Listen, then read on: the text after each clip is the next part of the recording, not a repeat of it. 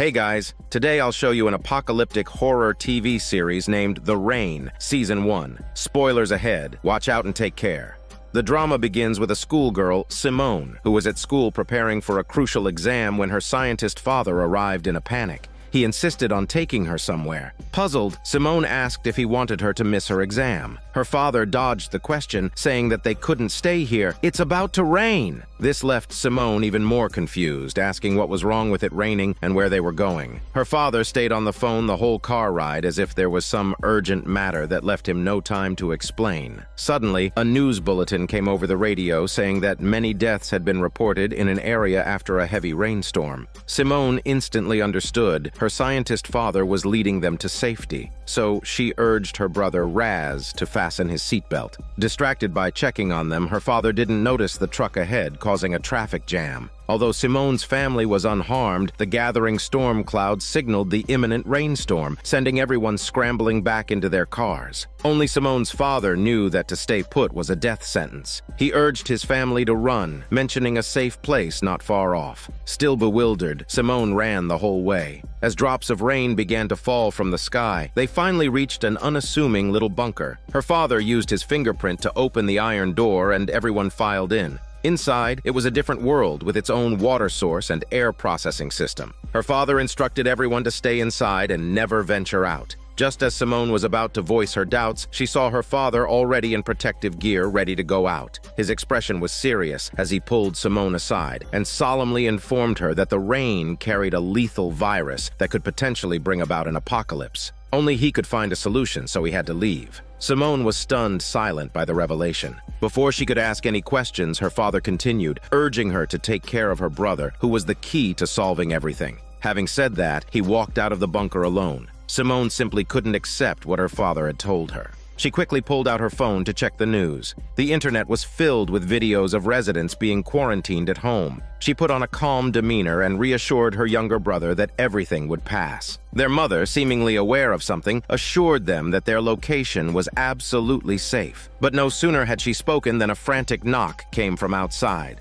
Simone and Raz, thinking their father had returned, hurried to open the door, only to find a man wailing in pain standing in the rain. He was about to rush into the bunker when their mother, who had arrived in time, tackled him out. Astonishingly, the virus in the rain was so potent that within a moment, their mother had lost her mobility and collapsed in the pouring rain. Watching this terrifying scene, Simone closed the heavy door of the bunker. She comforted her trembling brother, then tried to call their father, but the call wouldn't go through. Their once happy family was now down to just Simone and Raz. Overwhelmed by guilt and worry for the future, the young girl burst into tears, but she remembered her father's admonition to try and keep things light in front of her brother. While learning to operate the bunker's control system, they discovered there were many other similar shelters. Simone wondered if there might be a connection between them. Perhaps their father could be in one of them. She tried to contact the other bunkers through the internal network, but all attempts failed. Simone didn't lose heart. She was convinced there must be tools to contact the outside world here.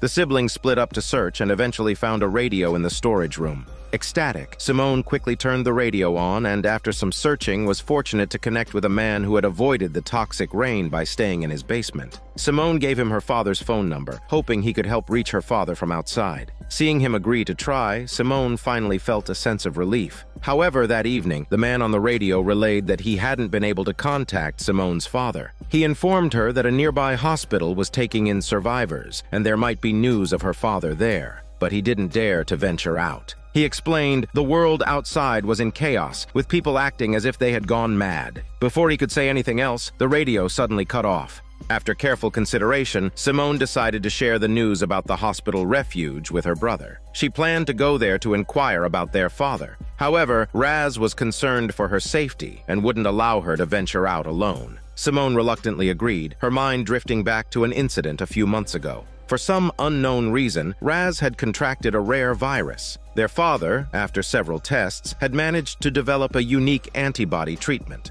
After injecting this into Raz, he was miraculously cured. Although their father's actions weren't universally approved, his company took great interest in this development. Now, Simone suspected that her father's assertion about her brother's importance might be related to this illness. While Raz was asleep, she decided to take a risk and venture out, hoping to find their father and confirm her suspicions. As Simone approached the bunker door, she was reminded of their mother's tragic demise. Fear of the outside world paralyzed her, and she found herself unable to muster the courage to step out of the door. After this incident, Simone abandoned all thoughts of leaving. The supplies in the bunker were enough to last them a long time. She devoted herself to caring for her brother in the bunker, hoping that one day their father would return. Days turned into months, and the plants they had grown were maturing. Six years passed in a blink of an eye. Raz had grown taller than Simone, but their father never returned. Food supplies were dwindling, and a sense of anxiety began to spread. Simone knew that waiting was not a solution. It was time to leave the bunker with Raz. But before that, she needed to go out alone to scout the situation, ensuring Raz's safety when they left. Passing the bunker door again, Simone was no longer afraid or hesitant. Her mother had long since turned into a pile of bones. While mourning in silence, Simone was startled by a deer that appeared suddenly. Gathering herself, she continued on to the nearby town. To her surprise, in just six years, the roads were overgrown with weeds, and abandoned cars were everywhere. It seemed no one had been here for a long time. With a shocked look on her face, Simone remembered the hospital refuge. Following the ubiquitous signs, she soon arrived at her destination. As she walked in calling out, there was no response. She panicked with every passing minute. The decaying bodies everywhere indicated that this place had fallen long ago. Simone couldn't believe what she was seeing. Suddenly, a wolf emerged from the darkness, causing Simone to retreat into a room, slamming the door shut. When Raz woke up in the bunker, Simone had already safely returned. She had accomplished her mission. She told Raz that there was nothing outside, and the only places they could go were the other bunkers, hoping there would be enough food there. When Raz heard they were leaving first thing in the morning, he was excited. He hadn't seen the outside world in a long time. Then the siblings fell into a deep sleep. In the middle of the night, the oxygen level inside the bunker started to decline. Alarms started to blare one after another, but Simone, due to the lack of oxygen, had already fallen into a semi-conscious state. Thankfully, Raz woke up in time. Noticing the difficulty in breathing, he quickly dragged his sister to the door. It was only when the metal door slowly opened that Simone gradually regained her senses. But soon after, the barrel of a gun appeared in front of them. Then several more people emerged from the forest, surrounding the siblings. These people forced Simone back into the bunker. It turned out that the earlier decrease in oxygen was caused by them blocking the ventilation duct. After locking the pair in a room, these robbers began to search for survival supplies. But all the food here had long been exhausted, and they ultimately found nothing. The man who led the group cursed under his breath and told his companions to leave, intending to let the siblings die inside. One of them was upset, questioning why they had to be so reckless in taking lives. The leader didn't respond and continued walking towards the outside of the bunker.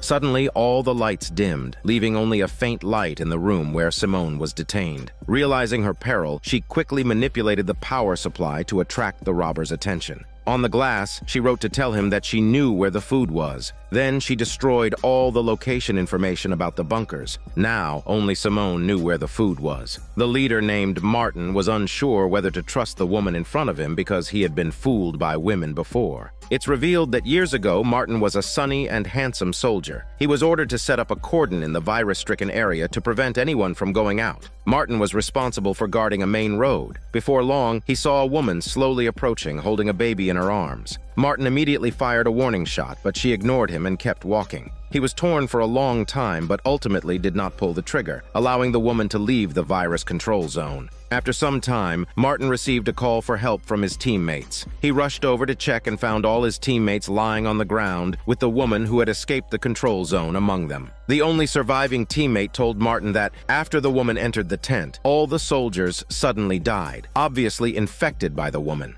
As soon as these words fell, the survivor began to cough violently, eventually collapsing and breathing his last. Martin never expected that the woman he had mercifully let go was a virus carrier, and that her ability to infect others was so strong. He couldn't face his unit anymore and began a life of wandering. Martin, in the bunker, found himself in a predicament. He was torn over whether to let Simone out. At this point, his partner, Patrick, spoke up, revealing that one of their companions was too weak from hunger to continue. This prompted Martin to make a decision. He led Simone and Raz out of the bunker, with the siblings guiding them towards another bunker. Unbeknownst to them, not far ahead, several masked men were deploying a drone, hunting for the few survivors left. At that moment, Raz found the sight of trees and sunlight, unseen for many years, incredibly refreshing. Martin abruptly signaled for everyone to stop as a car appeared ahead. Patrick quickly pulled out a piece of aluminum foil and draped it over everyone. Just then, two masked men jumped out of the car, casually tossing out a mini-drone. A thermal image appeared before the two men. They were part of an armed group specifically hunting survivors. They suddenly noticed a woman passing by and immediately gave chase. Martin seemed to know these men well, hence the prepared foil to shield from detection. Simone heard the woman's cries for help and wanted to assist. Martin, however, ignored her. The young girl, Beatrice, seeing his indifference, couldn't help but say it was just two men. Following this, she and Simone gave chase, trying to save the woman. Martin had no choice but to follow reluctantly. The fleeing woman, in her haste, accidentally tripped and fell into a ditch. The two hunters were about to approach when Martin dispatched them with gunfire. However, the woman was beyond saving due to the viral rain. Any contact with open water sources on land meant certain death. Martin mercifully shot her to end her suffering. Simone and her brother had never experienced the cruelty of the post-apocalyptic world and took a long time to recover. Noticing Raz was barefoot, Martin told him to take a pair from the dead woman, but Raz refused. A man named Jean in their group had no choice but to wrap Raz's stinky feet with a plastic bag. It wasn't out of kindness, but to prevent Raz from contaminating any water sources, which could then spread the virus to others.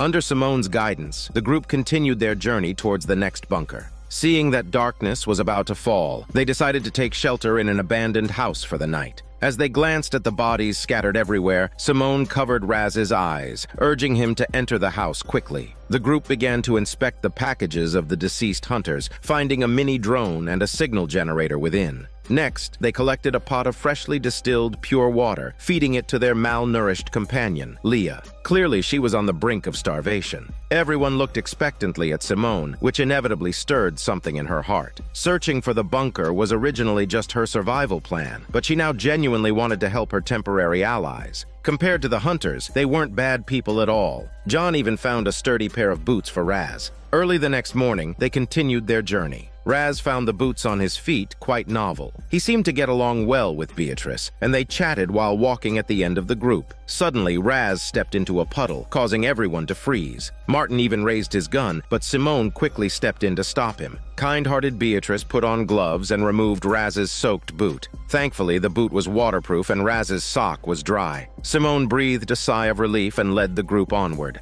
Finally, they found the bunker deep in the forest. She placed her hand on the control panel and the door slowly opened. Everyone rushed in eagerly. The bunker was a veritable Eden amidst the apocalypse. The warehouse was full of supplies, enough for everyone to live on for a long time. However, Simone told Martin that she and her brother would leave soon, as she couldn't tolerate Martin's killing. Martin mocked Simone for being naive, telling her the world had long since changed. But since Simone had lived safely in the bunker for six years, it was difficult for her to understand his words. After starting the bunker's power, she planned to take some food and leave. She then found a charging phone that lit up. The screensaver was a photo of Simone and her brother. Undoubtedly, this phone belonged to their father. She excitedly went through the phone with her brother and found a video message from their father's boss, who instructed their scientist father to head to the Swedish headquarters to lead the development of a cure for the rain virus. This excited Simone, who believed that her father could possibly be there. The siblings decided to set off immediately to Sweden to find their father. Before that, Simone showed the video to Martin, hoping he would lead the group to Sweden. Martin refused without a second thought. He had heard rumors about a virus antidote countless times, and the video message was six years old. Clearly, the antidote had not been successfully developed, and her father was likely dead. Since they couldn't reach an agreement, the siblings decided to go on their own. Martin had been wandering outside for six years, so he reminded them that the only way to Sweden was through the city center filled with wanderers, and then across the only long bridge. The siblings knew the journey was dangerous, but they set off with their food without hesitation. Martin didn't care, but Leah, who had nearly starved to death earlier, thought the siblings had helped everyone by finding food, so it wasn't right to let them venture out to their potential deaths. Beatrice also thought it was inappropriate. Seeing that Martin refused to leave, she angrily grabbed Jean, deciding that the three of them would go on their own. Actually, Beatrice, Leah, and Jean had known each other for quite a while. One day, while they were out in the morning, they happened to encounter Martin and Patrick, who were attempting to seize their resources. Sensing their intense murderous intent, Beatrice revealed their hideout and the availability of more food in order to save their shitty lives. As a result, the five of them had a substantial feast in a farming base. Even though they laughed and chatted throughout, Martin and Patrick considered Beatrice's trio a burden and decided to leave with enough food the next morning. Beatrice discerned their intentions, so she stealthily approached Martin in the dead of night and smoothly completed a trade with him. Beatrice knew that it would be hard for their three to survive in this apocalyptic world on their own. She could only exchange their protection for Martin's shelter in this way, and as it happened, Martin was amenable to this. Hence, a five-person survival squad was formed, although this temporary group could easily fall apart over a minor incident. Meanwhile, Simone and her brother had arrived at the city center. This was a city that had been ravaged by the virus rain, where most life forms had perished. The streets were desolate, presenting a post-apocalyptic scene. The surviving siblings looked around in shock and noticed a bus blocking the road, so they curiously climbed aboard. Before long, Simone saw shadows moving outside through the glass and quickly pulled her brother into hiding. Fortunately, the figures were not enemies, but Beatrice's trio. Simone was elated, never expecting them to give up the comfortable life in the bunker and join her in facing hardships. While they were resting in a burger joint, a group of hungry survivors suddenly burst in. Everyone ran towards the back door. In the chaos, Simone accidentally got separated from her companions and went out onto the streets looking for her brother. She then noticed the walls plastered with yellowed missing person notices, which left a bitter taste in her heart. Suddenly, a small boy appeared before her to flex his skinny muscles. Simone had never seen such a frail individual. Just as she was about to approach and greet him, she noticed that the sky was overcast with heavy clouds, indicating imminent rain. She quickly pulled the frail boy into a nearby tall building for shelter. The boy was clearly starving, so much so that he was using painkillers to stave off hunger. Simone took the medicine box from him and pulled out some food from her backpack for him.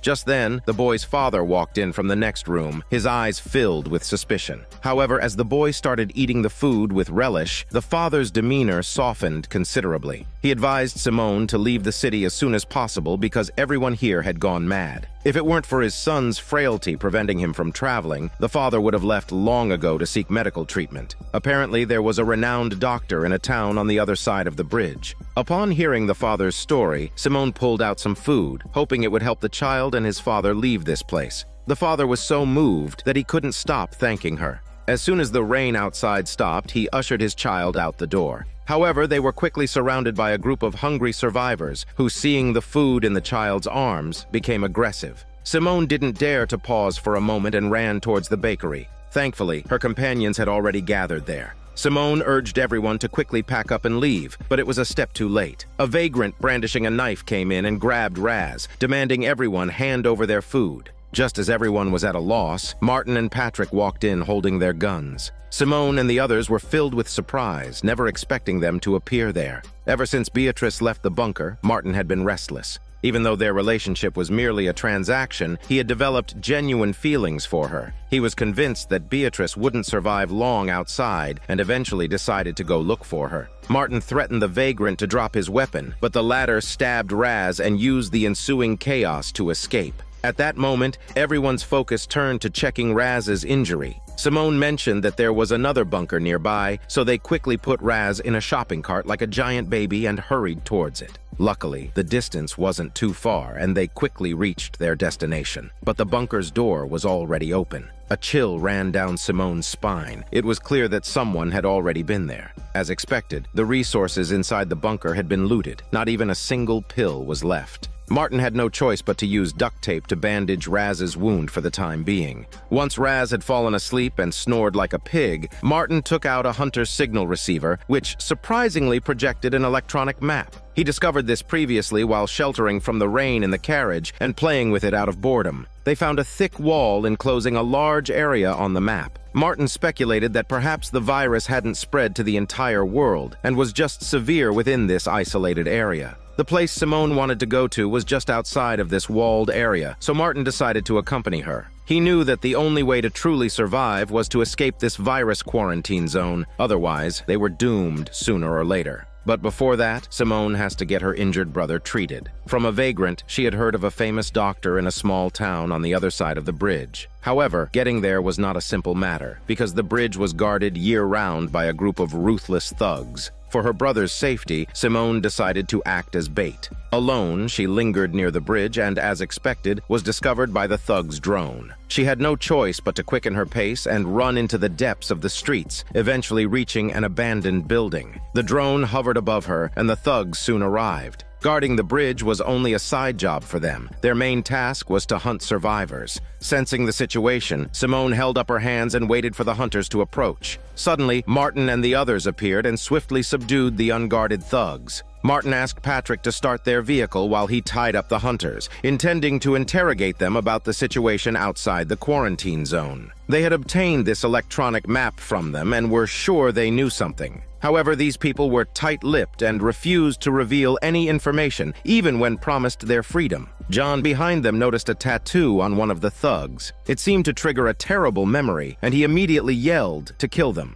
This suited Martin's intentions, but Simone was somewhat disappointed at Martin, who had agreed to spare lives when planning the operation. He did not offer any explanation and hurried everyone to leave. Then a few gunshots echoed from within the building. Martin rushed out and urged everyone to get in the car right away, as other hunters could arrive at any moment. The group sat in the car, slowly crossing the bridge. The atmosphere was heavy among the group. Simone guessed they were probably resenting Martin's killing. Jean seemed deeply troubled since seeing the thug's tattoo, his thoughts drifting back to years ago. At that time, although he had narrowly escaped the rain disaster, he almost starved to death due to a lack of food. Fortunately, a little girl extended a helping hand, pulling him back from the brink of death. The girl's family was very kind and urged him to stay and live with them. It could have been his happiest days after the disaster, but it didn't last long. A group of armed thugs came to the little girl's home. The father asked Jean to hide with his daughter while he went to inquire, but the thugs insisted on taking the father away. As one of them stepped forward to enter the house, the father was shot and killed. The hidden little girl wanted to scream, but Jean desperately covered her mouth, watching helplessly as the thugs took the girl's mother away.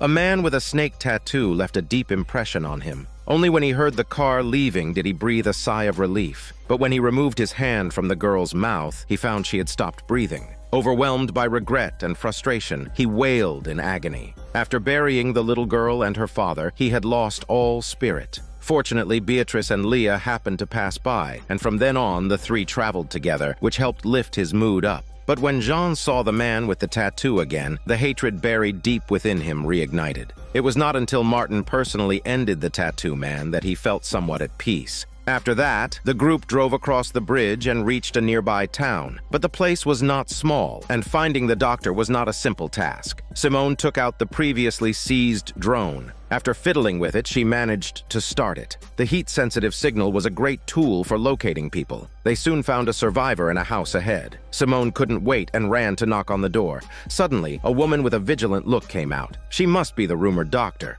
Martin brought out the injured Raz. The woman finally let down her guard, welcomed everyone, and began to stitch Raz's wound after they brought him into the house. Simone kept thanking her. During their conversation, they learned that the doctor's husband and two children had all died in the toxic rain disaster. Now, she was the only one left, struggling to survive. The surgery went smoothly, and Raz was getting better. Simone, unguarded, told the doctor about her plan to find her father at the Apollon Company. When she mentioned her father's name, the doctor showed her surprise but quickly replaced it with a smile. She said Raz needed a few more tetanus shots and led the siblings to fetch the medicine. Unexpectedly, the doctor led them to a bunker. To Simone's surprise, the doctor also had access to it. Simone guessed that the doctor had previously worked for the Apollon Company. The woman admitted it, but claimed she had not heard Simone's father's name. She then strapped Raz to a recliner, saying it was time for the injection. Simone felt something was off. Her father was one of the first employees of the company. It was impossible for people in the company not to know him.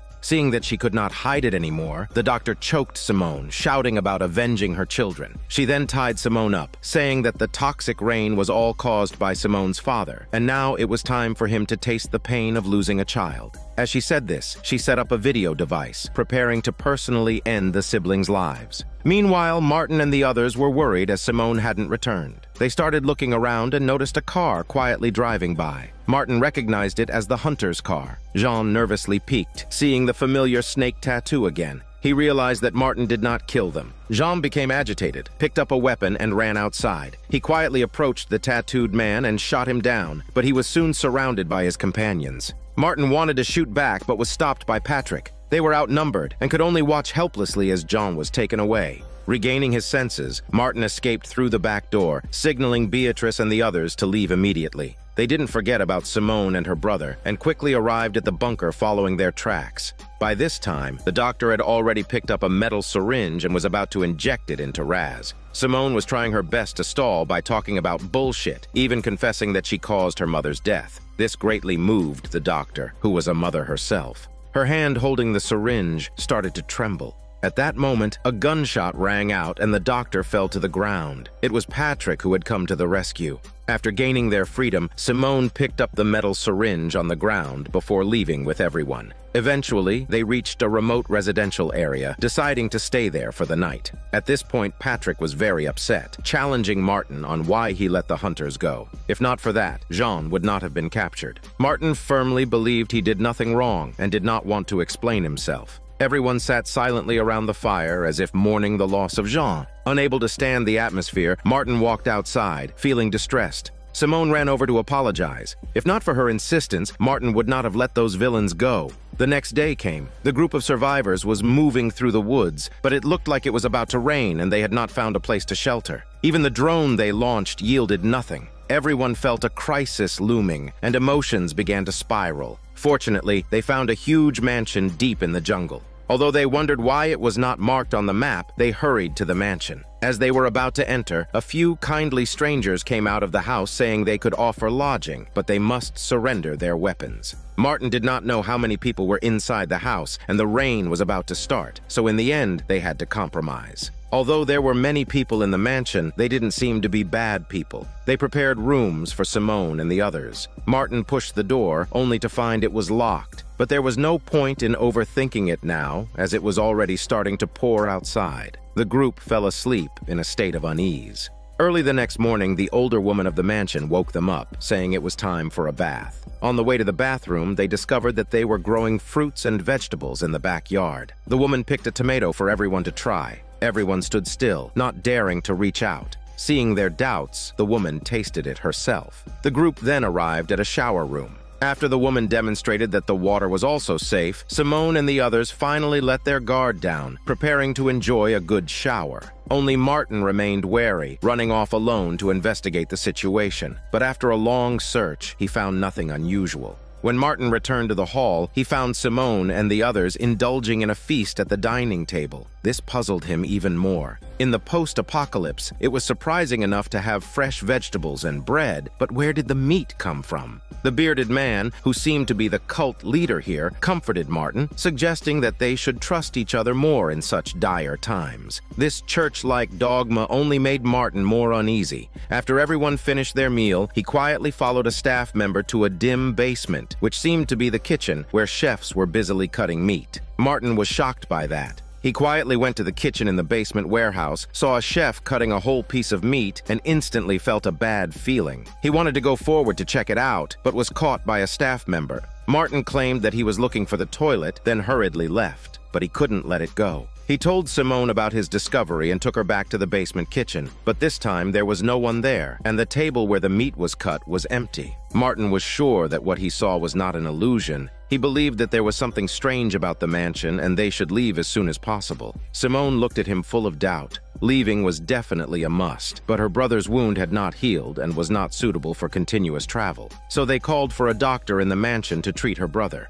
After checking the wound, the doctor said that Raz needed some antibiotics. When he took out the metal syringe, Simone felt something was wrong because it was very similar to the syringe used by the female doctor who tried to harm her brother. She quickly lied that her brother was allergic to the medication, preventing the doctor from injecting Raz. Taking advantage of his distraction, Simone secretly stuffed the metal syringe into her sleeve. When she returned to her room, she took out the female doctor's syringe for comparison and found that both were very similar, both produced by the Apollon Company. This unsettled Simone. She rushed to question the doctor why he had medicines from the Apollon Company. The group was wary of the syringe but were not willing to reveal anything. The cult leader kept saying that everything was in the past. Simone didn't get the answer she wanted, so she had to tell her companions about it. After hearing this, Martin was even more unwilling to stay here, urging everyone to leave. However, Simone didn't agree, wanting to investigate the relationship between this place and the Apollon Company. The others were also enjoying the superior life of the mansion and were not willing to leave, especially Leah. She and the mansion's older woman were devout believers, and their personalities matched well. After only a few interactions, the old woman regarded Leah as her daughter, which moved her deeply. She began to talk about her tragic experiences. It turns out, at a party before the rain disaster, the naive Leah was tricked. She became uncontrollably wild while her friends made fun of her and filmed the entire ordeal. The next morning, Leah discovered that the video had been posted online, and even her mother had seen it. Her mother threatened to sever ties with her, causing Leah to break down. It took her a long time to regain composure, and she wandered listlessly to the window. There she saw the friends who had played her, laughing and chatting as if nothing had happened. Feeling abandoned by the world, she sank to the ground and began to pray. As if her prayers were heard, a torrential downpour suddenly began. All her tormentors dropped dead without warning, leaving Leah in shock. She called her mother again, and this time, her mother's attitude had completely changed. She promised to come and pick up Leah right away. But the next moment, a scream came from the phone. Her mother had also succumbed to the toxic rain. After hearing Leah's story, the old woman showed sympathy and comforted Leah in a way that a fellow believer would, inviting her to participate in the monthly festival, as it was the only way for her to truly integrate into the mansion. On the surface, everyone in the mansion seemed harmless, but Martin believed there were secrets in this place. He decided to sneak into the underground kitchen again. After kicking open the door, he found it empty. At this time, everyone was gathered in the dining room, participating in the so-called mansion celebration. The cult leader flexed his messy beard and solemnly reminded everyone to cherish the food in front of them. Once it was ingested, everyone present would become indistinguishable from each other. The newcomers didn't understand what the cult leader meant. When he announced the start of the meal, they began to eat without thinking much. Meanwhile, Martin in the underground kitchen made a discovery. A pool of blood remained on the drain. He wondered since the apocalypse had been going on for six years, where could fresh livestock come from? He approached a freezer, nervously opened the door, and was horrified. A torso with both hands chopped off hung inside. However, Simone and the others didn't know the truth. After enjoying a lavish dinner, the cult leader announced the search for the next volunteer to offer their body. Leah immediately realized what meat they had just eaten. Simone and the others couldn't help but vomit uncontrollably. The others in the mansion watched them calmly, thinking that the real excitement was yet to come. Because they had eaten this meal, everyone was indistinguishable from each other and had to participate in the upcoming lottery ceremony. Whoever drew a note wrapped in flowers would become the next month's food. The discomfort in Simone and the others was quickly replaced by fear. By the time Martin rushed into the dining room, it was too late. He wanted to halt the ceremony, but the doctor quickly pointed a gun at his head. He could only watch helplessly as the crowd carried on. Trembling, Simone unfolded a paper ball, only sighing in relief when she found it was empty. Her brother and Beatrice also turned out to be safe. However, when Leah opened her paper ball, she was visibly distressed. Just as she was about to be taken to the underground kitchen, the old woman suddenly stood up, snatched the flowers from her hand, and offered herself as a substitute. Leah burst into tears. She was touched that the old woman, whom she had known for only a few days, truly saw her as a daughter. After this ordeal, Simone and her group didn't want to stay in the mansion any longer, but the cult leader made no attempt to keep them, believing there was no better place in the world.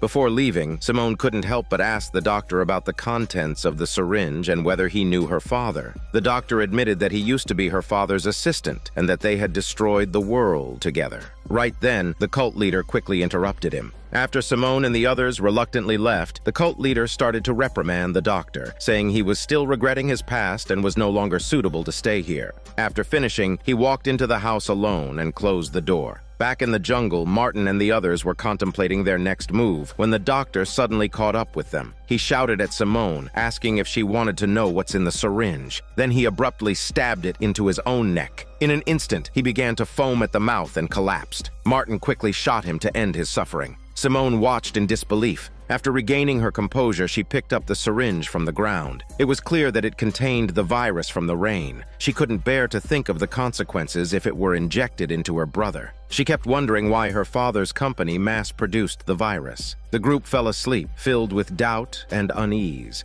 Early the next morning, Martin and Simone were calculating the route to the quarantine wall. Given their current walking speed, it would take several days to get there. They had to find another bunker to resupply. Martin noticed Raz and Beatrice chatting and laughing, which irritated him. He ordered Raz to get up and search for a bunker. In what seemed like a fit of petulance, the boy claimed his injury had worsened, preventing him from going anywhere. Simone became anxious, telling her brother to rest. Beatrice volunteered to stay and care for the injured, and seeing this, Martin couldn't object. Under Simone's lead, the four once again embarked on a journey to find a bunker. After spending several days together, Simone and Martin had become closer. This upset Patrick, who thought Simone's influence was making Martin less decisive, which he saw as a major taboo in the post-apocalyptic survival rulebook. Their journey went smoothly, and they found a bunker without much difficulty. After opening the door, they began to search the place. It was clear someone had been living there, maybe they had just stepped out temporarily. Martin urged everyone to gather supplies and leave quickly, but the abundance of eyeglasses and keys in the drawer piqued his interest. Then Patrick discovered a computer filled with numerous videos. On clicking one at random, everyone was stunned. It showed the lab staff injecting a girl's father with a viral agent, totally ignoring the desperate pleas of the little girl. When they confirmed that he had no immunity to the virus, they began the next round of experiments. When all the test subjects were exhausted, an old man watching the experiment reminded the staff that they still had the little girl. Simone was taken aback after watching the video. She recognized the elderly man directing the whole process as her father, but she weakly defended him, saying they were only trying to develop a cure. Patrick retorted that no matter the explanation, it couldn't cover up the crimes of Apollon Company. He was now convinced that the hunters were capturing survivors to provide test subjects for the Apollon Company. Martin intervened in their argument, insisting they should leave immediately or they'd become test subjects too. But when they reached the bunker door, they were stunned. The sky was filled with ominous clouds, and rain could start at any moment. The group had to decide whether to risk leaving or stay in the bunker. Martin made the decisive call to stay put. If it rained, the hunters and experimenters wouldn't be able to reach them. Little did he know, not far from the bunker, a group of hunters was using drones to hunt down the few remaining survivors, all to provide fresh subjects for their lab experiments. Countless innocent lives have been lost due to their actions. Simone and her group plan to leave the lab immediately, but with the sky blackened by ominous clouds and rain imminent, they dared not to risk it. Simone, worry etched on her face, sat outside the bunker, watching as the storm grew fiercer. Suddenly, Patrick stumbled out, bottle in hand, mumbling about how no one ever cared about him. He then walked straight into the rain. Simone rushed forward to stop him, reminding him of his importance to the team. But instead of gratitude, Patrick angrily pushed her heavy body aside, exposing her to the toxic rain. Simone was filled with despair as she realized that Patrick felt no remorse. Instead, he was shouting for someone to bring a gun. She couldn't understand why Patrick hated her so much. But actually, before the apocalyptic disaster, Patrick was a total failure. He was fired from his job, dumped by his girlfriend, and even his father despised him, giving him his old car and telling him to travel the world and never return. Patrick seemed to have anticipated this, accepting it all with equanimity. He began a life of wandering, which continued until a sudden storm killed everyone but him. He didn't panic, because whether others lived or died, Patrick was always alone. That was until he met Martin, another lone wanderer, at a repair station. They hit it off immediately and braved the post-apocalyptic world together for six years until Simone and her brother joined them. But now, Patrick noticed that everything changed. Not only had Martin become indecisive, but he had also distanced himself from Patrick. That's why he blamed everything on Simone and harbored the desire to make her disappear. Seeing Martin and Leah emerge from the bunker, Patrick urged them to shoot. But Martin, who had grown fond of Simone, was torn. He couldn't just kill her. Leah, however, was more decisive. She positioned herself in front of Martin's gun, arguing that they were a team and should face adversity together, not turn on each other. She then stepped back into the poisonous rain. Martin was shocked and ended up wrestling with Patrick, who was insisting on shooting. Meanwhile, Leah and Simone took the opportunity to retreat into the bunker. Soon, Martin and Patrick regained composure and isolated the two women exposed to the toxic rain, hoping for a miracle. Both women, fully aware of their limited time, remained surprisingly optimistic. Leah didn't regret her reckless act of saving another's life. She may have already died back at the mansion when the old woman had traded her life for Leah's.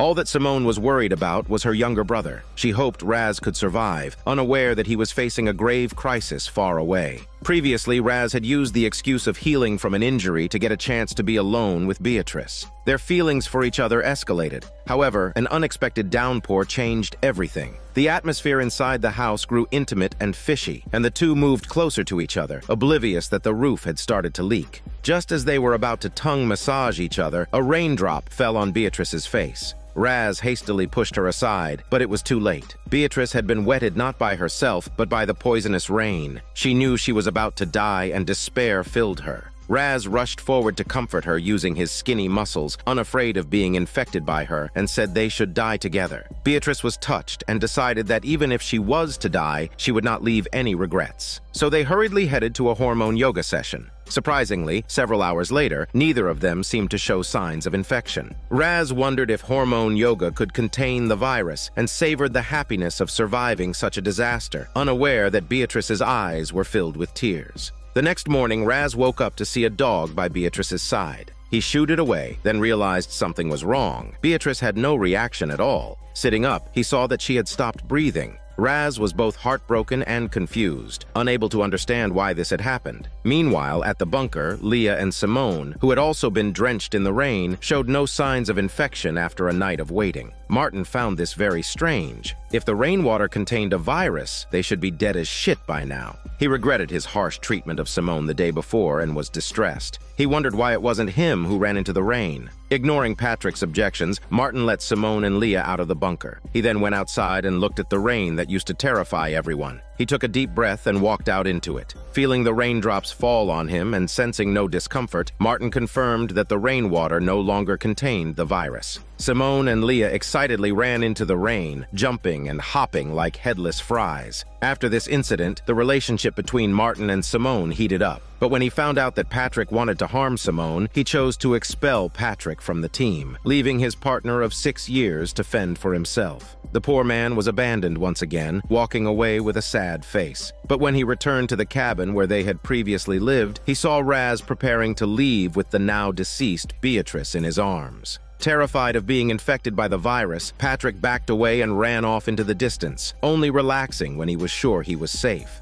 As he pondered his next move, he suddenly felt a bag being placed over his head. In the wooden cabin, Raz carried Beatrice, moving towards the direction of the bunker. He was eager to reunite with his sister and to understand why Beatrice had suddenly died while he himself remained unscathed. Inside the bunker, Simone and the others were busy packing their supplies, ready to leave. Upon hearing that Patrick had been banished, Simone felt that Martin's action was somewhat extreme. She wanted to persuade him otherwise when suddenly a cry for help echoed from outside. They rushed to see Raz carrying Beatrice. They were all taken aback, instinctively keeping their distance from him. Martin made a quick decision, confining Raz to an isolation room. Simone, seeing her brother in pain, wanted to help but felt powerless. She could only enter the isolation room wearing a hazmat suit, advising her brother to stay away from Beatrice, fearing potential contagion. But Raz was beyond caring. He felt that the dog from the morning had infected Beatrice. He was consumed with self-loathing for not having died along with her. Seeing his sister also maintaining a respectful distance, Raz was filled with despair. After making arrangements for Beatrice's body, he walked out of the bunker alone, having lost the will to live. He planned to find a secluded place to end his shitty life. Unexpectedly, his walkie-talkie suddenly came alive. This was a device they had previously seized from a hunter. A voice was instructing his underlings, ordering them to prepare for an assault on the bunker. The people who had captured Patrick turned out to be from the Hunter organization. The gang's captain seemed to know Patrick, immediately grilling him for information about Simone and the others. At first, Patrick tried to play the tough guy, but after they pulled out one of his rotten teeth, he started spilling everything. Upon hearing that Simone's father worked at Apollon, the captain was taken aback because he himself was an Apollon employee, responsible for unsavory tasks, like hunting survivors. The company's boss explained that this was all to develop a cure for the virus and to save the world. Before sending all the hunters into the quarantine zone, everyone was forced to drink a liquid containing nanocapsules. Their neck skin quickly developed an allergic reaction, yet that wasn't the most lethal part. If anyone tried to flee or resist, the capsules in their body would shatter, releasing a deadly virus. This fear kept the hunters obedient, even though they were in the quarantine zone. Upon learning from Patrick that Simone and the others were hiding in the bunker, the captain commanded his men to attack the bunker. Unbeknownst to him, Raz overheard the conversation. Having lost the will to live, Raz informed them via the walkie-talkie that he was at a quarry, and they should hurry up if they wanted to catch him. Patrick, however, sensed something was amiss. Raz had reported Beatrice's infection before. He should be dead by now. The captain was excited to find a carrier of the antibodies. If he could bring Raz back to headquarters, an antidote might be developed, so he ordered his men to move quickly. In the meantime, Simone and the others in the bunker realized that Raz was missing. After searching all the rooms, they found no trace of him. Worried for her brother's safety, Simone released a drone outside. It wasn't long before she spotted four figures surrounding a person near the quarry. She guessed it must be Raz being captured by the hunters. Fortunately, she didn't act impulsively, but returned to the bunker to gather reinforcements. Just then, she saw Martin and Leah burying Beatrice. Everyone felt the bitterness of the loss, but Simone had to ask for help to rescue her captured brother. Martin and Leah agreed that they wouldn't abandon any team members. On the slope behind the quarry, the three of them used the drone to figure out the distribution of the hunters and began discussing the rescue plan. They made a horrifying noise, luring a hunter into an ambush. With no suspense, the man was captured. After extracting from him that he had five comrades left, Martin knew they couldn't confront them directly with their limited manpower. He had no choice but to offer the captain a trade, Raz, for the captured hunter. He quickly arranged a meeting place and hung up the radio. Both parties soon arrived at the meeting point, with only one person showing up from each side. Simone hoped they would release her brother. The captain flatly refused. He planned to take Raz back to headquarters and inject him with the virus to confirm whether he was immune. Simone became frantic, knowing if her brother couldn't resist the virus, he would surely die. Just then, Martin, holding the hostage, walked out. Leah pointed a vial of virus at the hostage's neck.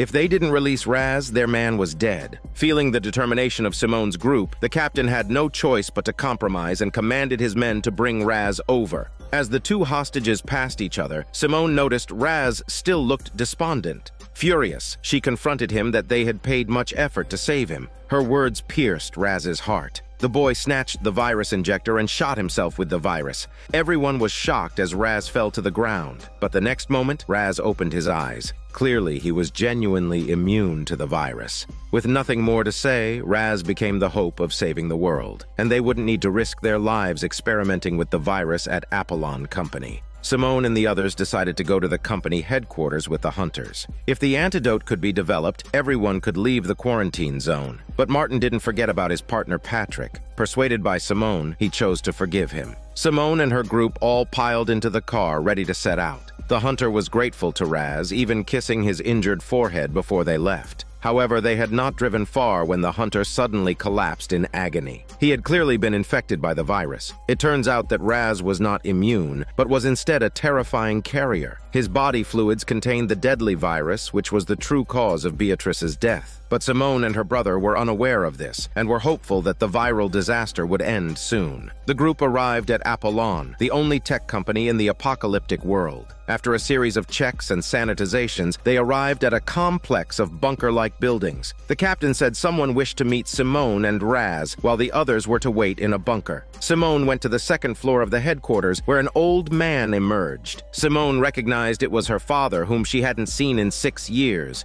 but instead of excitement, she was filled with resentment. Raz, unfamiliar with their father, unconsciously stepped back, stumbled, and fainted. Medical staff quickly took him to the medical room. Simone still had many questions, but her father had no time to answer, asking her to wait for him in a room inside before he left with Raz. On the other side, Martin and the others finally reached the underground fortress. The structure was similar to the outside, but resources were much more plentiful. Leah discovered a familiar jacket in a corner of the warehouse. It belonged to their companion Jean. Everyone had thought he was dead since he was captured by the hunters. With high hopes, Leah searched around and finally found the lively Jean in the bathroom. The hunters hadn't killed him after all. Martin and the others were ecstatic. After all, in the apocalypse, every reliable teammate mattered. At that moment, a staff member walked in. She said that Martin and the rest, who had been wandering outside for years, needed to replenish their nutrients. Jean had been drinking it and didn't find it odd. However, the others fell into silence.